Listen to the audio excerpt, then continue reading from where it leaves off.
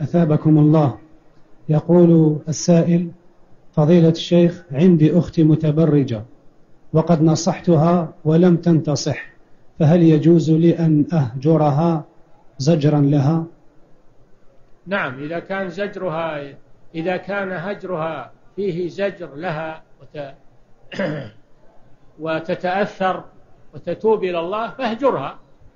نعم أما إذا لم ينفع فيها الهجر فعليك بمناصحتها وعليك بإلزامها بالحجاب لأنك أنت وليها. قال تعالى الرجال قوامون على النساء بما فضل الله بعضهم على بعض. فأنت القائم عليها ألزمها بالحجاب. إذا لم تمتثل ألزمها ولو بالضرب والتأديب حتى تلتزم. نعم.